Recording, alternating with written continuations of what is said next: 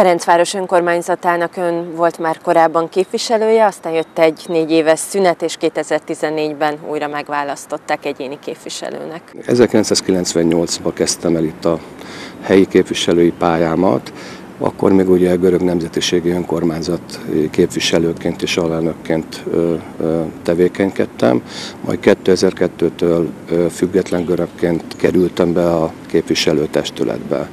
2006-tól már itt ebbe a választókörzetembe egyénibe tudtam nyerni.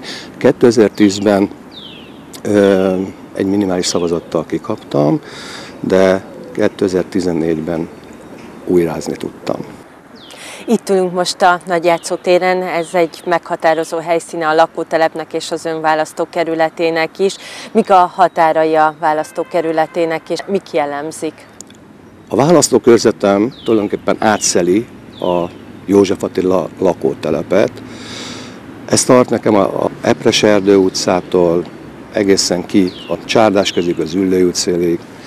Akkor említhetném ugye a, a Ifjú Munkás utcát és Napfény utca. A kosárka sétányban sikerült életre keltenünk egy ö, pihenőparkot. Az, az semmiből, az semmiből. Továbbiakban sikerült elérni azt, hogy amikor itt a Napfény utcában megindította a működését a Lil üzletláncnak egy üzlete, az ott élők nyugalma érdekében egy zajvédő falat is föl tudtunk húzni. 2008-ig Ugye volt nekünk egy kötelezettségünk, ugye az EU normáknak megfelelően a maga a játszóterek és a játszóterek felújítása. Ez 2008. december 31-ig azt hiszem a kerületünk végrehajtotta, és az én területem is úgy szinten. Itt ezen a, ezen a játszótéren azért ez a, ez a négy, négy hektáros terület, ugye, most ugye egybe vesszük, ugye, ez egy jó átmenetet képez a tipegőktől a felnőttekig.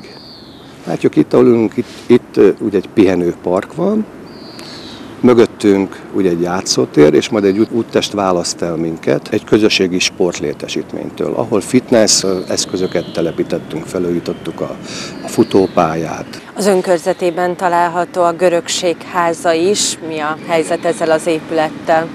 Én a magam részéről annyi részem volt ebben, hogy amikor ez megfogalmazódott a, a görögség részéről, hogy egy új kulturális centrum jöjjön létre, akkor én ezt ö, javasoltam, hogy hozzuk be ide a volt Pest-Buda mozinak a helyére. A felújítási munkálatok itt elkezdődtek, természetesen forráshiányjal rendelkeznek, egy bizonyos szintig eljutottak ennek a felújításában. Az érdeklődve várom én is, magam is, meg hát ők is, hogy milyen forrásokból tudják tovább fejleszteni. Vannak természetesen már megfogalmazottak olyan közös programok, kulturális programokra gondolok, amelyeket össze tudjuk kombinálni a, a Ferencváros kulturális eseményeivel.